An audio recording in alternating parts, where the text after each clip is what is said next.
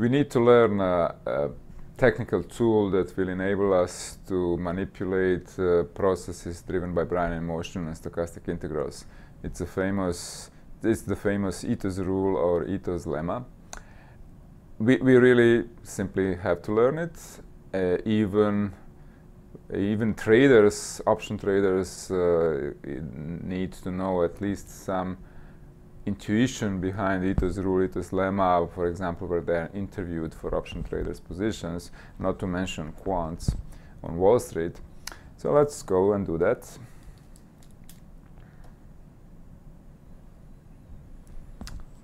I'm going to, uh, this is going to be necessarily mathematical and somewhat abstract. I'm going to try to give intuition relative to the usual calculus and also let me first give you motivation why we need this. So here I have something called x of t and then I have a function of time and of x of t. So think of x of t for our purposes as the stock price and think of f as the option price. So the option price is going to be a function of time, actually usually time to maturity, and of the current value of the stock price. This is going to be the case in the Black-Scholes model. So this is why we need, if we know the dynamics of x of t, meaning we know this last term here, which is the derivative of x of t with respect to time, uh, can we say something about how f, the option price, changes with time, meaning can we say something about the derivative with respect to time of the option price. Okay? And here I'm doing it in standard calculus, meaning there is no randomness. Okay, so let's first look at the case with no randomness. And then there is, you may call it Newton's rule, uh, which, which is exactly this first equation here. In standard calculus, it is true that total derivative of a function which depends on time and then another function which, which depends on time Okay, so I'm taking a derivative with respect to time, changing time in both places. That's changing time only in the first argument, so this is notation for partial derivative. Partial derivative means derivative respect to the first variable, plus change in x, so partial derivative respect to the second variable, x, times change of the second variable with respect to time okay, d dt x of t. Okay, this is something which which simply comes from the usual Newton deterministic calculus. Okay. All right, with Brownian motion, this definitely cannot work in this form because if you have x which depends on Brownian motion, this doesn't exist. As we said before, the derivative respect to time doesn't exist. So I have to, I have to be uh, flexible here in terms of how we interpret this. And formally, let me base, let me multiply by dt to get rid of this dt, just kind of informally if you want. Uh, and um, I'm going to denote these partial derivatives with f subscript t, that's partial derivative respect to t, and then partial derivative respect to x is going to be f subscript x.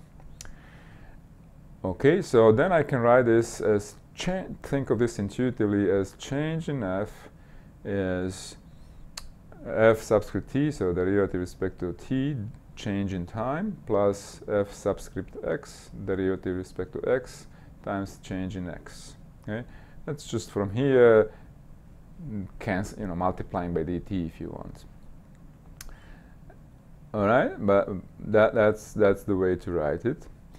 It turns out this is not quite true if x is random. If x is driven by Brownian motion, this is not quite true. There, there will be an extra term here. There will be an extra term which comes from the Brownian motion uh, properties. Okay. So let me now, so this is just to tell you what happens with the deterministic in the deterministic, deterministic world. Let me tell you what happens uh, with uh, stochastic differential equations.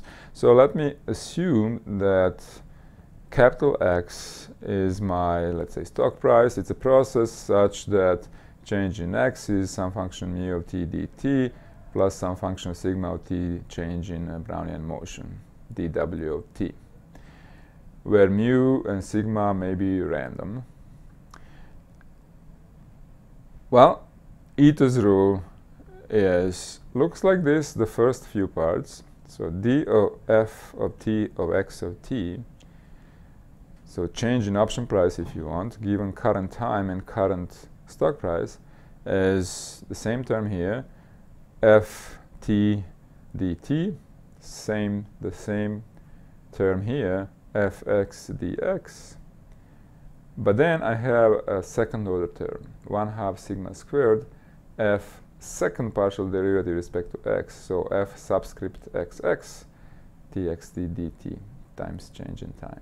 Okay? There is this extra term which we don't have in the deterministic world. If sigma is zero, so that we are back into the uh, deterministic world, this would disappear. But with sigma non-zero, we have this term. Okay? Uh, should be really written, uh, be writing here sigma of t. It may depend on time and be random, but uh, okay, I'm not writing t here.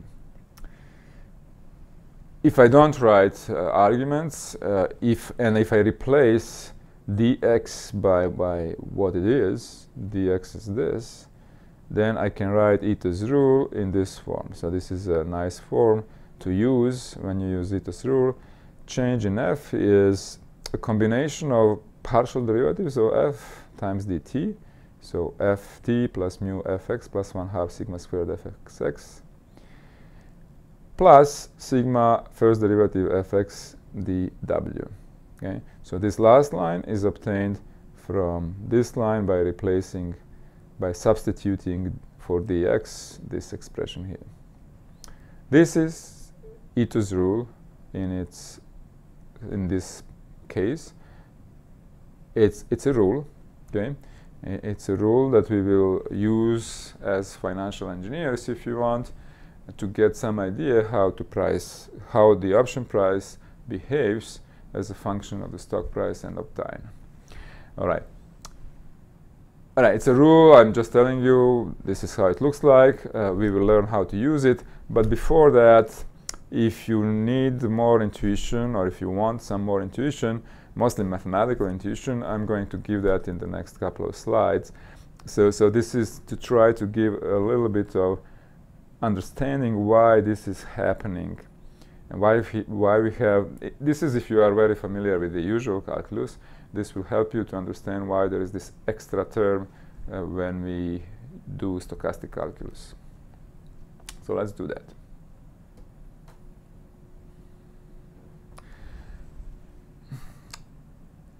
Real reason why is the behavior of Brownian motion during very short time periods and when you add all the increments of Brownian motion over those short time periods. So really the variation in Brownian motion and in particular so-called quadratic variation. So generally a variation of order p or pth power variation uh, is defined here. You split the interval 0 to t into pieces of length delta t, many pieces of the same length, delta t. And then you look at the absolute value of the differences, increments, changes in Brownian motion at the end of those endpoints of those intervals, put it to the power p. So it turns out that for p equal to 2, when you let delta t go to 0, this this sum, it becomes a sum of infinitely many, infinitely many uh, terms, and it converges, it converges to t actually. Okay? For Brownian motion, these quadratic increments, quadratic changes in the value across small intervals, they converge to t. And the first, if I put p equal to 1 here, the first variation converges to infinity. Brownian motion is so volatile, uh, varies so much that its first variation explodes and goes to infinity. For smooth functions, for smooth fun uh, functions that have uh, derivative, which, is, which are differentiable, uh, it can be shown, uh, it's kind of actually relatively easy to, to see that, that it converges to the integral of the derivative of the function ds. But since Brownian motion doesn't have a derivative, it, it converges to infinity. Okay? But for smooth functions, the second variation converges to zero. It's not there. But for Brownian motion, the second variation is finite, but not zero. It converges to t. So this is essentially why we have, we will have this extra second order term when we deal with Brownian motion, which we don't have when we deal with differentiable functions. Okay? The, the fact that these variations, second order variations, don't disappear. They don't go to zero when you add them up over small time intervals and take the limit, they don't disappear. They converge to t. Okay, so that's the essence of that. Let's see how that works for Ito's rule. I'm not going to give you a detailed proof of Ito's rule. I'll just give you the main idea. The main idea is Taylor's expansion. Now, if you remember or know about Taylor's expansion, this slide will make sense. If you don't know about Taylor's expansion, this slide is not going to be very helpful to you. All right, so Taylor expansion, Taylor's expansion says that change in f between t plus delta t, x of t plus delta t, and t x of t values. Okay, if I look at this difference, when I move time from t to t plus delta t, that's equal to the first partial derivative with respect to time, ft delta t, then derivative with respect to x, fx delta x. Then I'm going to take another second order term with respect to x, 1 half second derivative with respect to x, fxx delta x squared, plus some higher order terms. Okay. So the, the, the hard thing in the proof is to show that the higher order terms, uh, when you add them up over uh, over all delta t's between some time s and t, uh, they will they will go to zero. Turns out for for smooth functions also this term goes to zero. However, uh, because of what we argued in the previous slide, for Brownian motion, these terms when you add them up will not go to zero. Okay, so they will not go to zero. Uh, so let's compute formally this uh, this delta x squared. So delta x, so here I'm using capital delta instead of dx because I'm thinking of discrete change rather than infinitesimal uh, change. So the, the change in x squared is mu delta t plus sigma delta w squared by my definition of x. Okay? So when I square it, I'm going to get mu squared delta t squared plus sigma squared delta w squared, and then the cross term is twice mu sigma delta w delta t. So these guys, when you add them up and take delta t go to 0, these guys will go to 0 because t is a differentiable function. This turns out also to go to 0. If you add these and let delta t go to 0, this term delta t will take over and uh, will uh, make this, uh, this sum of these terms go to 0. But this term, as we argued in the previous slide, when you add all these incre quadratic increments of Brownian motion, that doesn't go to zero, that goes to t. Okay? So this whole term, most of it goes to zero when you add, when you add them up, uh, except the contribution of this term, which will give you sigma squared dt. Okay?